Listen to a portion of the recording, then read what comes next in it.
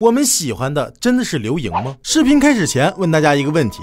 你们是因为哪个瞬间或者哪个设定开始喜欢刘莹的？是不眠之夜中的那一舞，还是美少女和机甲的最佳搭配？又或者是她那平静带着点无语的吐槽，还是在机甲中说出就此离开，没有人会受伤的中二病少女等等？关于刘莹的人设，实在是有太多的点可以讲，甚至我觉得这些设定完全可以分出来放在两个甚至三个角色上都不为过。如此饱满的人设，甚至会让我产生一种我是不是曾经见到过很像刘莹的人的这种错觉，一种虚拟接。轨现实的错觉。刘英最成功的地方就是太像一个活脱脱的人了。平日会对你露出微笑，把他的钱都用来给自己买吃的，也不会生气，有一种不符合年龄的成熟感。但拍下合照前，也会难免流露出一丝羞涩。说到这里，你有没有感觉刘英其实很像在我们年少时喜欢，但我们却选择将心意埋在心底，始终没有表露的那个人？还记得在二点零刘英被刀的时候，当时为什么有那么多的人想为刘英报仇？因为时间太短了，短短一个版本，两个小时就和刘英经历了相遇与。离别，明明还有很多话想说，很多事想做，可却没有机会了。那么屏幕前的你，是否也有想说但说不出口，想做却没有勇气做的事呢？如果有，阿琼希望你勇敢一次，无论成功与否，全当为自己的青春画上一个圆满的句号。也希望屏幕前的所有人都能找到那个属于自己的白月光，或者说属于自己的刘英。